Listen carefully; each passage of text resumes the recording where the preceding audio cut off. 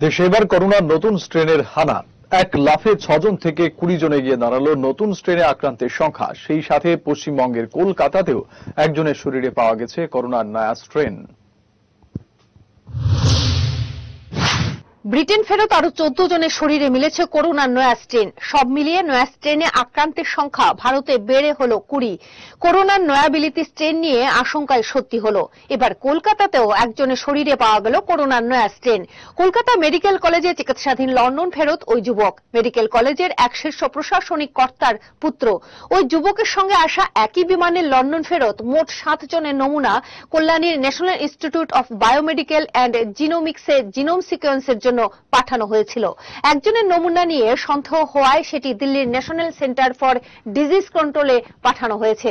সেই রিপোর্ট পরে রাজ্য স্বাস্থ্য দফতরে পাঠানো হয়েছে। মনে করা হচ্ছে মেডিকেলে চিকিৎসাধীন যুবকই নয়া স্ট্রেনে আক্রান্ত। জানা গিয়েছে, গত কুড়ি ডিসেম্বর ভোর রাতে কলকাতায় নামেন ওই যুবক। যিনি নয়া স্ট্রেনে আক্রান্ত, তাকে দমদম বিমানবন্দর থেকে কলকাতা মেডিকেল কলেজে ভর্তি করা হয়েছে। ওই যুবকের সঙ্গে আসা একই বিমানে লন্ডন ফেরত মোট সাত জনের নমুনা Kalyani national institute of biomedical and জিনোমিক্সের genome সিকোয়েন্সের জন্য পাঠানো হয়েছিল। এদিকে ব্রিটেন ফেরত আরও চোদ্দ জনের শরীরে মিলেছে করোনা নয়া স্ট্রেন।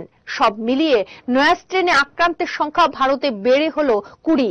এর আগে ছজনের শরীরে পাওয়া গিয়েছিল এই নয়া স্ট্রেন প্রসঙ্গত মঙ্গলবার স্বাস্থ্য মন্ত্রকের তরফে বলা হয়, শুধু ব্রিটেন থেকেই নয়, বিদেশ থেকেই যারা এসছেন ওই নির্ধারিত সময়ের মধ্যে সেই সকল উপসর্গ ব্যক্তিদের জিনোমও পরীক্ষা করা হবে।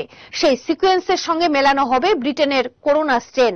সরকারি বিজ্ঞপ্তিতে জানানো হয়, যারা যারা এই সকল ব্যক্তিদের সংস্পর্শে এসছেন, তাদেরকেও আইসোলেশনে রাখা হচ্ছে। যতটা সম্ভব সন্ধানের কাজ হচ্ছে। নমুনা নিয়ে জিনোম সিকোয়েন্সিং এর কাজও চলছে। Bureau report, headlines, Tripura.